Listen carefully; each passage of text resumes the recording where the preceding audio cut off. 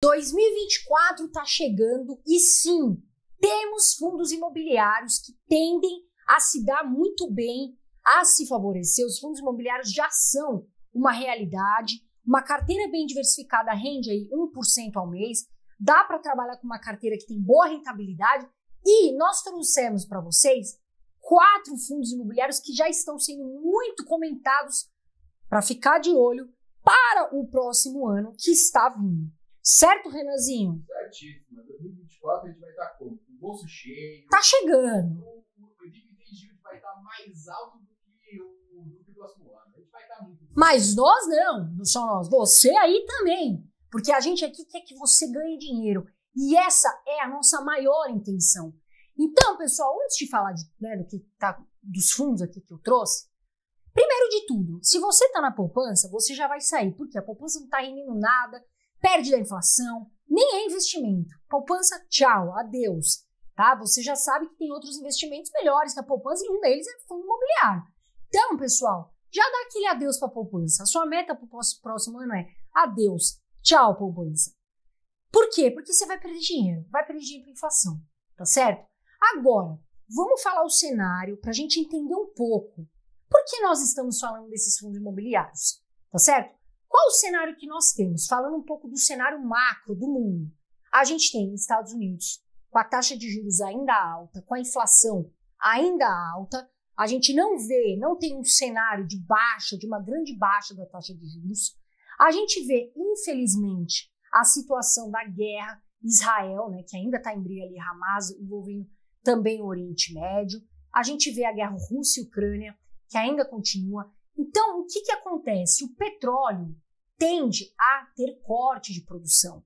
Isso envolve que a Rússia é uma grande produtora do petróleo, envolve os países. E quando cai a oferta, o que, que acontece? O preço sobe. E quando sobe o preço do petróleo, aumenta consequentemente o que a gente chama de inflação. Por quê? Porque não é só o petróleo, não é só o diesel, o combustível. Quem depende deles, alimentos, remédios para transporte, também sobe. Então, esse é o cenário que nós temos. Agora, Carol, por que você está falando isso? Porque, veja, nós aqui no Brasil tivemos o corte da nossa taxa Selic, tá certo? Mas a expectativa poderia ser de um corte maior. Porém, como veio essas situações, esses imprevistos, né? O que, que acontece? A nossa taxa de juros deve cair, mas deve cair com uma maior lentidão, até para a gente ter o controle também da inflação. E isso favorece quem? Os fundos de papel também vão continuar pagando bons dividendos. Tem fundo de papel que está barato, né? Caiu o preço, mas tendenciam a continuar pagando aí bons dividendos. E a gente tem outros fundos também que são favoráveis para a gente ficar de olho. Antes de eu falar esses fundos, Renanzinho, hum. a galera aqui é muito gente boa. Vai ser uma gente boa, sabe como? Como? Dá aquela sentada no like. Senta o like. Aquele se inscrever, com aquele sininho e comenta as ações que vocês estão investindo. Se não fizer isso, é 100 anos sem dividendo. Vamos falar aqui o primeiro fundo. Quem é ele? É o KNR11. O KNR11 é um fundo que oscila menos, tá certo? É um fundo híbrido. Ele tem exatamente 50% de galpão e 50% de lajes corporativas. Dando uma olhada aqui nos indicadores, pessoal, vamos ver aqui. Olha lá no Investidor 10, o grupo Kinea, baita grupo, baita gestão, a cotação 161 reais, o dividendo de entregue 7,47%, o PVP em 1,01%, mostrando que, opa, o fundo já está ali num preço justo. A liquidez diária, 3,90 milhões, excelente, é um fundo que você pode né, comprar a cota. Tem pessoas para comprar se você vender, e ele vem valorizando, olha lá, 24,71% aí nos últimos 12 meses. Algumas informações importantes, como eu falei, grupo Kinea, Segmento híbrido, como eu falei, de metade laje, metade galpão. Ele tem uma taxa de administração de 1,25% ao ano. A vacância, quanto que está vago? A gente quer saber. É importante? Muito. 3,3% é uma vacância aceitável, tá, pessoal? Tem valor patrimonial, o valor dele é grande, tem 3,85 bilhões e ele pagou o último rendimento de 1. Se a gente ver aqui no investidor 10, que o Renanzinho vai pôr a tela para gente, Olha lá, é um fundo que ele sempre remunera os cotistas, é linear, né? O médio em 5 anos, que é importante, 7,64%.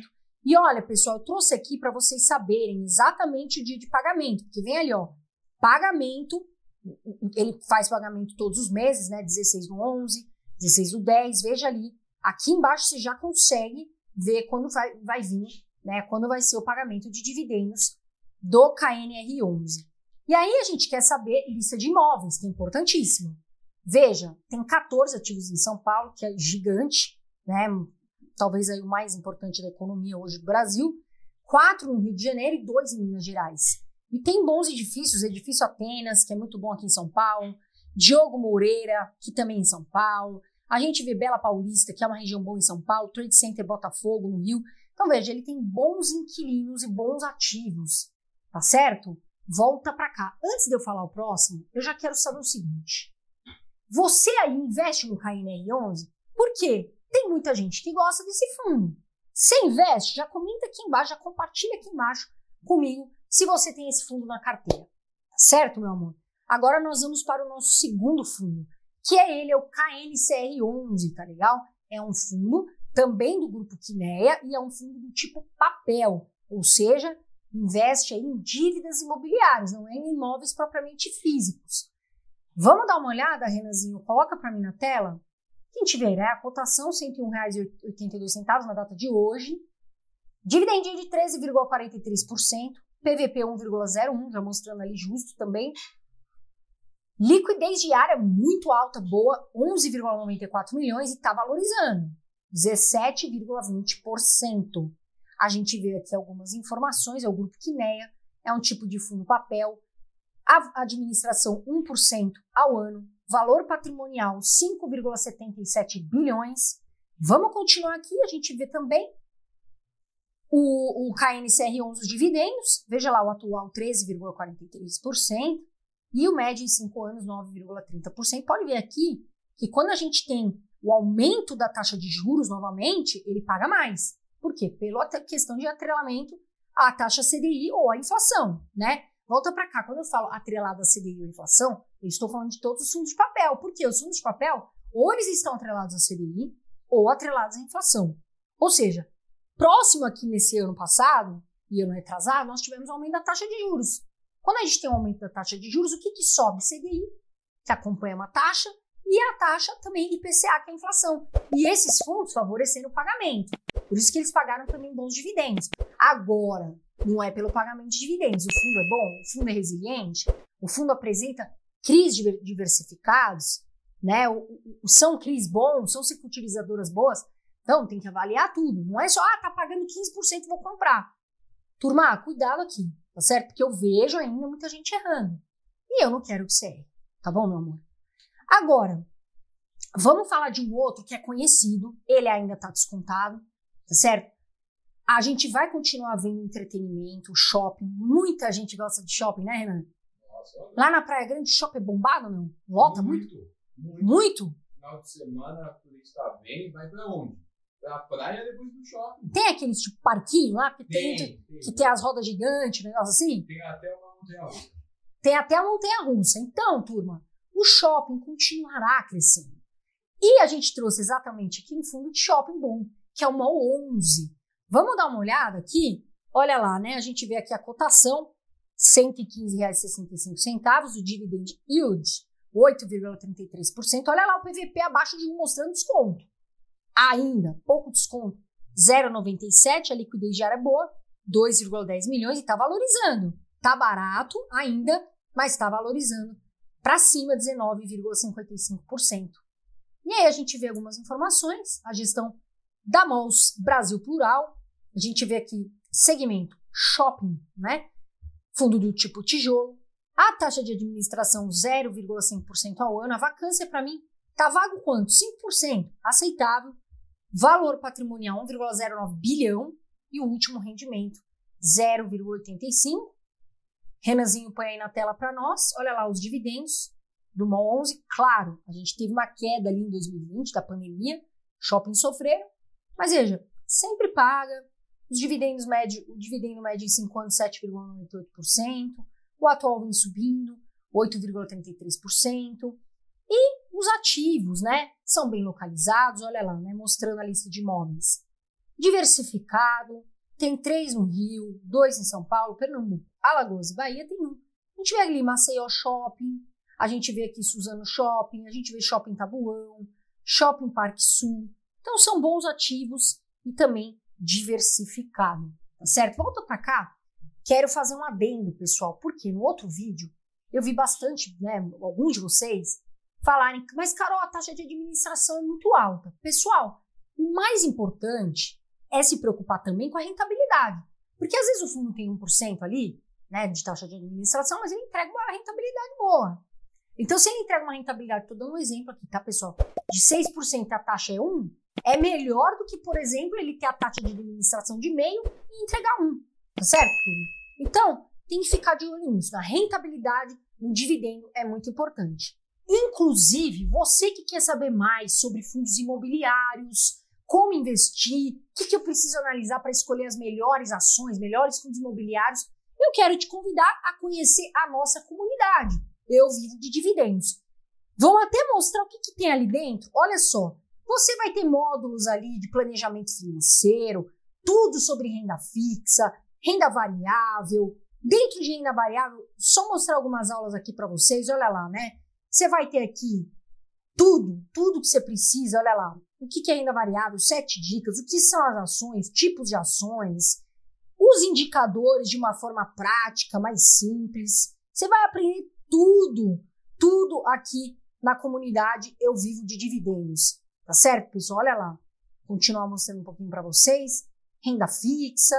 Vocês vão aprender sobre fundos imobiliários, sobre iniciando no exterior.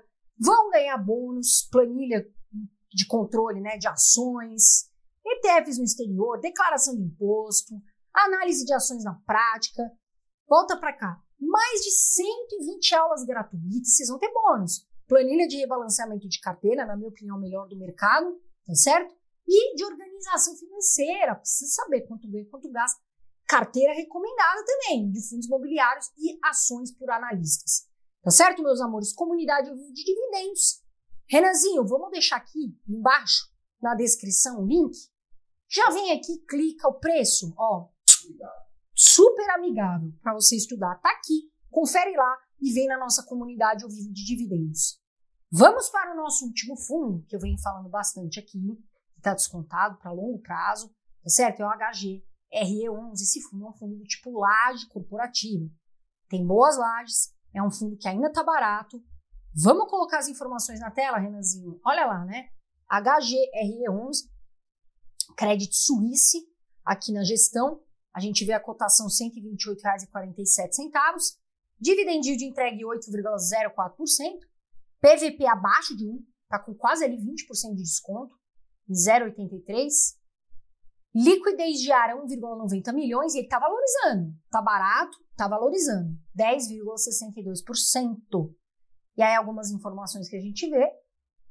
Credit Suisse na, na gestão, segmento lajes corporativas, como eu falei, taxa de administração 1% ao ano, a vacância 27,65%, já vamos falar disso. Valor patrimonial 1,83 bilhão e o último rendimento 0,78. Vamos ver os dividendos. Tá aí na tela. Olha lá, a gente vê o atual 8,04% e o médio em 5 anos 7,78%. Vamos dar uma olhada, como a gente sempre fala, lista de imóveis. São Paulo, 17 ativos. Rio, 2. Rio Grande do Sul Paraná tem 1. Olha lá, né? Tá ali no eixo paulista, eixo Berrini, ali Faria Lima, tem bons, boas lajes, Berrini One. Então, assim, volta para cá, são boas lajes. São lajes de inquilinos, é uma laje cara. Nós estamos voltando ao home office, ainda tem trabalho híbrido, mas já estão voltando as empresas. Esse fundo, turma, tá com uma vacância alta. Quem é que está investindo? Eu estou comprando. Por quê? Porque é para longo prazo. Ele está me pagando dividendo um dividendo que eu considero razoável, com vacância. Quando alugar, quando essa turma chegar para alugar e são lajes caras, a tendência é o quê? De valorizar, de pagar mais dividendo. Então, é para longo prazo. Não dá para comprar aqui o HGRE achando que você vai ganhar dinheiro no, no curto prazo, tá, turma? Então, isso tem que ficar claro para vocês, tá certo? Agora, Carol, você está comprando? Sim, Eu coloquei no meu carrinho? Sim. E continuo colocando. Tá certo, turma? Então, está chegando 2024, nós vamos continuar investindo. Vai ser um ano de uma expectativa melhor, na minha opinião, nós vamos continuar voando. Estamos otimistas com os fundos imobiliários, já cresceu bastante, e não é você que vai ficar de fora. Então, ó, olho aberto e já comenta aqui embaixo comigo que eu perguntei lá no começo do vídeo. Você investe no KNR11? Nós queremos saber. Por que, que nós queremos saber, Renan? Eu sou fofoqueiro. Porque, ó, é Fifi, Fifi do bairro. Então nós queremos saber. Tá certo, meu amor? Comenta aqui embaixo. Não esquece daquele like maroto para ajudar a gente no canal. Já vai aí, dá o likezinho. Eu sempre falo. Quem investe, o futuro agradece. Voa Brasil, voa muito longe. Um beijo de luz, fiquem com Deus e até o